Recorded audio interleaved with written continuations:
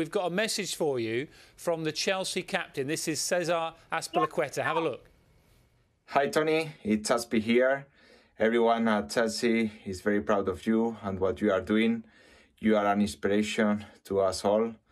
When things uh, return to normality, I would like you to come to the training ground and meet all the players. Uh, take care and hope to see you very soon. Tony, I knew we had a message uh, and I was pretty excited. I didn't know he was going to invite you to the training ground. What do you think of that? What do you think? Good. You're excited? Yeah.